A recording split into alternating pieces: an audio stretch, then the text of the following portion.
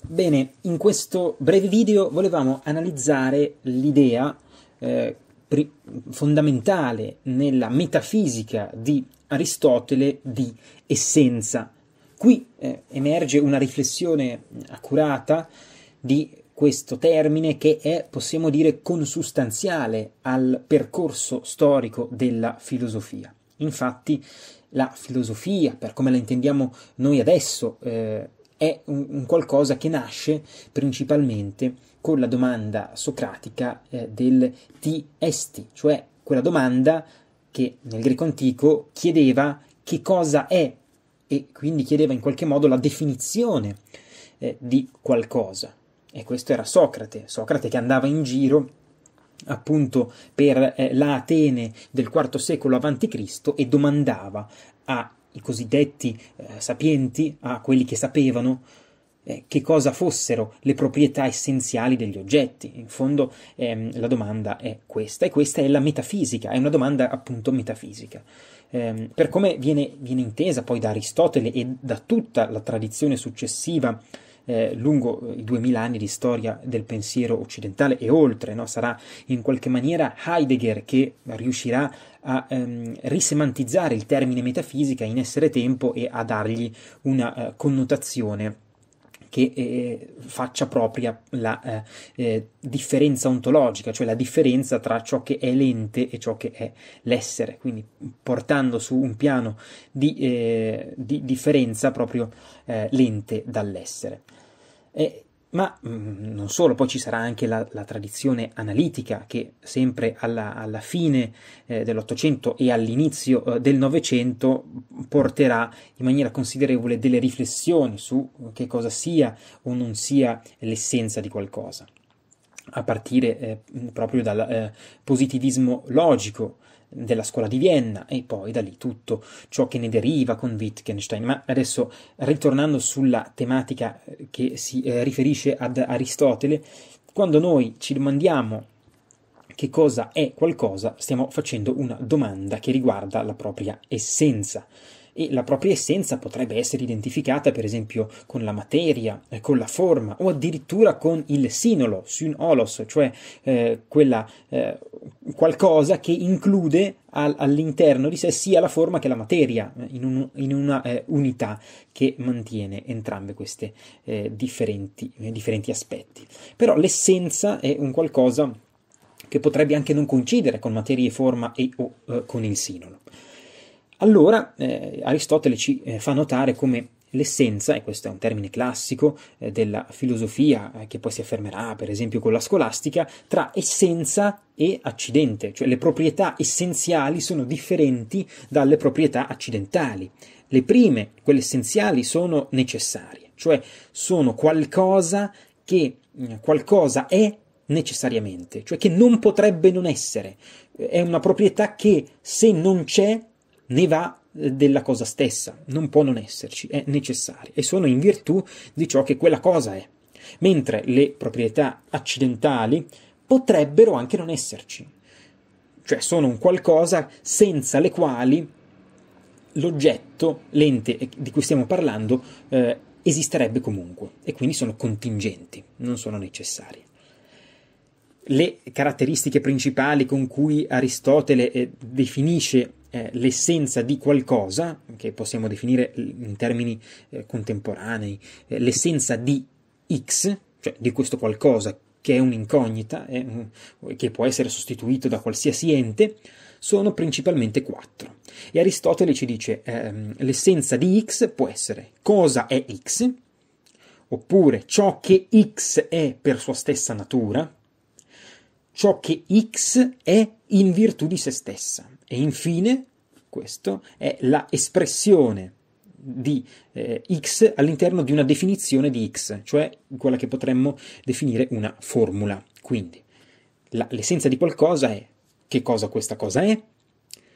che cosa questa cosa è per sua stessa natura e che cosa questa cosa è in virtù di se stessa e che eh, conclusivamente può essere eh, riassunta in una definizione, in una formula. Ecco, E qui ritorniamo appunto al problema socratico che chiedeva le definizioni per mettere in crisi la conoscenza anche eh, dell'interlocutore che in qualche modo era implicita, tacita, ma eh, non si riusciva ad esprimere eh, verbalmente o comunque invece ehm, nel momento in cui la si esprimeva eh, si eh, riusciva a entrare in contraddizione con se stessi e per cui si metteva proprio ehm, in ridicolo l'interlocutore dimostrando i fondamenti fallaci, non logici, non razionali eh, che eh, tutti noi abbiamo quando eh, esprimiamo delle opinioni, anche all'interno di ambiti dei quali noi ci riteniamo esperti. Ecco, allora eh, questo è quello che eh, ci interessa, no? Eh, cioè qual- che cosa è l'essenza. E qui stiamo mh, mm, semplicemente mh, mm, non, non, diamo una soluzione, presentiamo il problema aiutandoci con Aristotele e con la metafisica di Aristotele in particolare. Possiamo dire che appunto la definizione riassume in qualche modo eh, la formula dell'essenza ehm, è riassunta dalla definizione. Definizione in re, cioè che è presente eh, nella cosa stessa, è, è, la cosa stessa che ehm, è, ehm, l'attrice, possiamo dire così, della definizione. Esistono diverse eh, tipologie di eh, essenze, perché noi portiamo, possiamo eh, parlare delle essenze ehm, tipologiche o individuali, cioè delle essenze di genere o di specie, cioè essenze che fanno riferimento a uh, degli universali, hm, a degli universali che non sono quindi eh, individuali, ma sono concetti eh, in qualche maniera astratti per quanto hanno un certo tipo di relazione che poi può essere indagato con gli individui singoli, no? per esempio un uomo eh, sicuramente eh, ha la proprietà eh, di ehm, essere eh, un essere umano, per esempio, quindi un uomo singolo, un singolo uomo, qualsiasi eh, rappresentante della specie che oggi noi con termini contemporanei chiameremo appunto di Homo sapiens, ha eh, quella caratteristica di essere un uh, Homo sapiens. Questa caratteristica generale è una caratteristica universale che però poi troviamo anche nei vari eh, individui. Aristotele avrebbe detto eh, che l'uomo è un animale razionale, zoon logon econ, cioè quell'animale che possiede il logos, il linguaggio, la ragione e quant'altro. Quindi ehm, vediamo come la proprietà essenziale possa essere, abbiamo detto, universale, ma possa riferirsi anche agli individui. Ma mm, la proprietà eh, di un individuo, cioè quella proprietà che lo rende ciò che è, per sua stessa natura, è, è molto più complicata forse da, da, indagare, mentre noi per le essenze eh, universali possiamo cercare di dare eh, delle definizioni, eh, per esempio per gli universali naturali, eh, possiamo cercare di capire quale sia eh, ad esempio l'essenza o la definizione eh, che racchiude l'essenza dell'acqua. E noi con, in termini contemporanei potremmo dire H2O, no, alla luce anche delle scoperte scientifiche, della chimica eh, che nell'Ottocento si è affermata, possiamo tranquillamente sostenere questa tesi, cioè che la proprietà essenziale dell'acqua, cioè di un tipo naturale, è essere H2O, e quindi è riassunta in questa definizione, e così anche per l'oro, per il metallo e per molti altri enti di natura. Mm, e lo stesso possiamo fare anche con dei tipi un po' più astratti, no? per esempio che cos'è la giustizia, che cos'è eh, il eh, bene, che cos'è eccetera, che cos'è ehm, per esempio anche eh, la, eh, l'essere presidente del consiglio, è, una, è, un qualcosa di astratto, noi andiamo sul dizionario, vediamo presidente e, e, e leggiamo la definizione no, sul dizionario, allora comprendiamo che cos'è. Se vogliamo capire cos'è eh, un libro, ecco che non è un tipo naturale, però è sempre un tipo, cioè un tipo universale, eh, andiamo sul dizionario, leggiamo la definizione di libro e a quel punto eh, abbiamo eh, l'essenza, la proprietà essenziale espressa in una definizione. Bene, questo è per, è per eh, i tipi universali, no? per eh, le essenze universali, mentre quando ci riferiamo alle essenze individuali, eh beh, la, la, eh, la problematica è più evidente. Infatti noi abbiamo bisogno qui di una proprietà necessaria che è necessaria affinché quell'individuo sia quell'individuo. Eh, noi ci poniamo nell'ottica eh, ecco, dell'Atene eh, del IV secolo a.C. e vediamo allora Socrate. E quando noi ci vediamo eh, il personaggio di Socrate davanti, dobbiamo definire eh, quali sono le sue proprietà essenziali. Beh, è molto complicato, ovviamente si comprende bene, perché eh, noi potremmo benissimo dire, per esempio, che una proprietà che ci sembra così eh, connaturata con Socrate non è in realtà qualcosa che lo definisce propriamente, per esempio appunto l'essere filosofo. Socrate poteva benissimo eh, essere comunque se stesso e non diventare un filosofo, eh, quindi eh, poteva anche non essere eh, nato in, nella, nell'Atene del suo tempo, poteva anche non essere il maestro di Platone, poteva anche non avere sposato Santippe e via dicendo. E quindi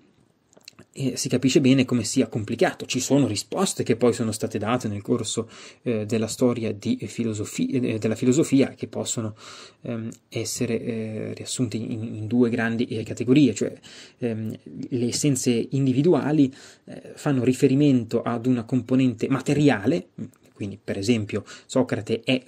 quel, quell'uomo, quell'individuo che è nato da questi genitori, che quindi ha una certa proprietà, eh, che per così dire è genetica, quindi che riguarda la sua componente materiale, sua, i suoi geni, eh, che lo definiscono come individuo, oppure a livello formale, è quell'individuo che ha quella specifica eh, anima, cioè quella